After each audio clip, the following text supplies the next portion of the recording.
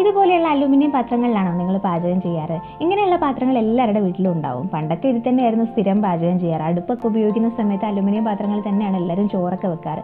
ഇപ്പോൾ ഒരുപാട് ഉപയോഗം കുറഞ്ഞിട്ടുണ്ട്. പോരാഞ്ഞിട്ട് നമ്മൾ കേട്ടിട്ടുണ്ട് അലുമിനിയം പാത്രങ്ങൾ അങ്ങനെ ഉപയോഗിച്ചുകൂടാന്ന് എന്തുകൊണ്ടാണ് അങ്ങനെ പറയുന്നതെന്നുള്ളതിനെ കുറിച്ച് നിങ്ങൾക്ക് അറിയുമോ ഈ അലുമിനിയ പാത്രത്തിൽ നമ്മൾ പാചകം ചെയ്യുമ്പോൾ ഇപ്പോൾ എടുത്തു പറയാനാണെങ്കിൽ പുളിരസമുള്ള അതായത് തക്കാളിയോ വിനാഗിരിയോ പുളിയോ ഒക്കെ ചേർത്തിട്ടുള്ള ഭക്ഷണമാണ് നമ്മൾ പാചകം ചെയ്യുന്നുണ്ടെങ്കിൽ അതിലടങ്ങിയിരിക്കുന്ന ആസിഡും ഈ അലുമിനിയവും തമ്മിൽ രാസപ്രവർത്തനത്തിൽ ഏർപ്പെടും. രാസപ്രവർത്തനത്തിൽ ഏർപ്പെട്ട് നമ്മുടെ ഫുഡിന്റെ ടേസ്റ്റിനൊക്കെ സാരമായിട്ട് ബാധിക്കും. ഫുഡ് മൊത്തത്തിൽ കുളമാവും. അപ്പോൾ അത് നമുക്ക് അംഗീകരിക്കാൻ പറ്റുന്ന കാര്യമല്ലല്ലോ. അത് മാത്രമല്ല പ്രശ്നം സ്ഥിരമായിട്ട് നമ്മൾ അലുമിനിയം പാത്രത്തിലാണ് പാചകം ചെയ്യുന്നതെങ്കിൽ ഈ അലുമിനിയം കുറഞ്ഞ് കുറഞ്ഞ എമൗണ്ട് ആയിട്ട് നമ്മുടെ ശരീരത്തിനുള്ളിൽ എത്തിപ്പെടും. മറ്റ് ശരീരത്തിനകത്ത് വേണ്ടുന്ന മറ്റ് മെറ്റൽസിനെ പോലെ അല്ല ഈ അലുമിനിയത്തിന്റെ കേസ് അയണോ സിങ്കോ മഗ്നീഷ്യോ ഒക്കെ ആണെങ്കിൽ നമ്മുടെ ശരീരത്തിന്റെ മെറ്റബോളിസത്തിന് ഒരുപാട് ആവശ്യമുള്ള സാധനമാണെന്ന് പറയാം.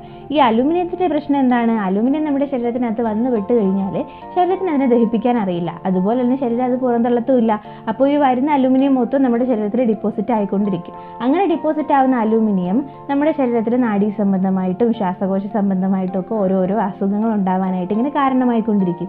നമ്മുടെ ശരീരത്തിന് ദഹിപ്പിക്കാൻ അറിയാത്ത ശരീരത്തിന് പുറന്തള്ളാൻ പോലും അറിയാത്ത ഈ ഒരു സാധനം നമ്മൾ കഴിക്കേണ്ടെന്ന് ആവശ്യമുണ്ടോ?